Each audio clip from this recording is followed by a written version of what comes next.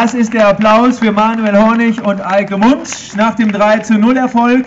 Aus gegebenem Anlass fange ich mal mit dem Eike an, so kurz vor Schluss. Erster Drittliga-Einsatz, sagt der Trainer. Wie fühlt man sich dann, wenn man noch auflaufen darf und dann danach direkt hier im RZ Fandorf den Fans Rede und Antwort stehen darf? Ja, ist natürlich ein schönes Gefühl und äh, muss man sagen, hat der Trainer dann alles richtig gemacht, mich am Ende zu bringen, damit ich jetzt hier dann stehen kann. Wäre sonst ein dummes Gefühl. Nein, Spaß beiseite es war ein tolles Gefühl auf äh, den Einsatz. Haben natürlich ich persönlich lange hingefiebert, äh, schon ein paar Jahre bei der TUS und dass dann jetzt endlich klappt, dass die Mannschaft so klasse gespielt hat, drei Tore zu Hause, was uns diese Saison noch nicht gelungen hat, äh, gelungen ist. Ähm, das ist natürlich ein tolles Gefühl und das ich spielen durfte. Einfach klasse. 13-0 Manuel gegen Sandhausen, gegen eine Mannschaft, die eigentlich zu Saisonbeginn sogar als Aufstiegsfavorit gehandelt wurde. Jetzt hängen die da unten drin. Ähm, sind die schlechter als im Moment der Tabellenplatz oder besser als der Tabellenplatz ist dokumentiert oder wie analysierst du den Gegner so aus deiner Sicht? Ja gut, ähm, ich möchte mich da eigentlich gar nicht einmischen, was der Gegner angeht. Ich kann nur für uns sagen, ich finde, wir haben eine super Leistung geboten. Wir haben hinten gar nichts zugelassen und Gott sei Dank ist vorne endlich auch mit den Knoten geplatzt. Drei Tore, besser geht's nicht, ich bin sehr zufrieden und von daher, was die anderen machen, ist mir eigentlich egal. Wie bereitet man sich auf so eine Mannschaft vor, die in der Tabelle unter einem steht? Das sieht so auf dem Papier nach Pflichtsieg aus, damit er nicht da unten reinrutscht, wo man aber weiß, eigentlich so vom spielerischen Potenzial her, müssten die ja besser sein. Und es besteht ja immer die Gefahr, irgendwann platzt auch bei denen mal der Knoten und dann kommt die Aufholjagd. Wie habt ihr euch auf Sandhausen vorbereitet? Ja, ähm, erstmal müssen wir sagen, dass wir vorher viele Punkte haben liegen lassen. Also wir haben ja gegen Mannschaften, die letzte Woche auch wieder Saarbrücken gespielt, die unten drin standen, hinter uns stehen, da haben wir dann nur 0-0 gespielt. Nur hier bei der Mannschaft, wir haben uns eigentlich darauf vorbereitet wie auf jeden anderen Gegner. Wir haben, beziehungsweise das Trainerteam hat die Gegner analysiert, uns vorgestellt, uns den, äh, den Plan an die Hand gegeben und wir müssen es umsetzen.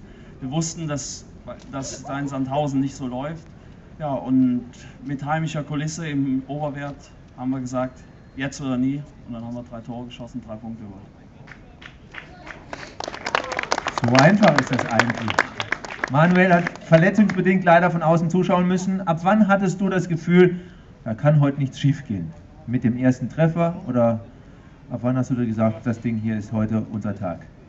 Ja gut, ähm, ich hatte von Anfang an schon ein gutes Gefühl. Ich habe ja die Woche, war ich wieder bei der Mannschaft, ähm, sehr konzentriert und gut gearbeitet. Und von daher bin ich eigentlich von ausgegangen, dass wir gewinnen. Und nach 1-0 gefallen ist, hatte ich schon ein richtig gutes Gefühl dann. Nach dem 2-0 war das für mich eigentlich dann wirklich klar. Und ich denke, das war auch wirklich in keinster Weise irgendwann äh, zur Debatte gestanden, dass die Sandhäuser da zurückkommen. Wir haben das wirklich souverän gespielt und war wirklich eine tolle Leistung einstelliger Tabellenplatz, jetzt zumindest mal wieder Platz 9 auf dem Papier.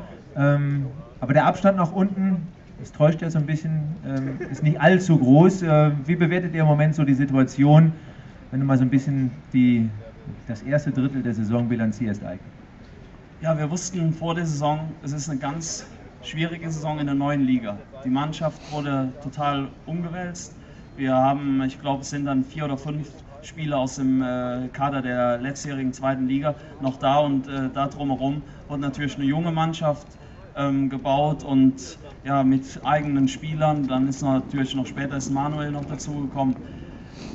Wir, wir wissen, dass es, dass es eine schwierige Saison ist und äh, ja, auf die Tabelle würde ich einfach gar nicht so sehr schauen. Wir müssen einfach sehen, dass wir unsere Punkte sammeln und äh, davon am besten so viel wie möglich und so schnell wie möglich. Und dann denke ich mal, haben wir noch äh, eine gute Restsaison und äh, werden die auch erfolgreich bestreiten.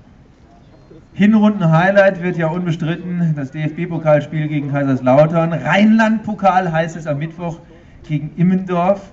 Ähm, mit, mit, welcher Einstellung geht man in so ein Spiel ran? Klar, ihr wollt natürlich dieses Spiel gewinnen, aber ähm, ist es so ein bisschen auch unangenehm das Gefühl, wenn wir da jetzt einen Patzer haben, dass man dann hier so äh, Koblenz intern uns blamieren, ist, schwebt das irgendwo mit dabei, wenn man in so ein Spiel reingeht oder seid ihr selbstbewusst und sagt, die putzen wir weg?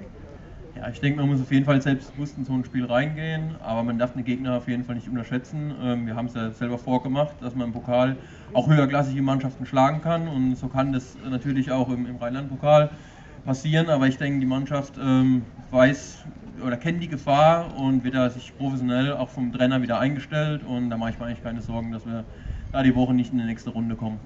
Wie gehst du ins Spiel rein oder wie siehst du die Begegnung?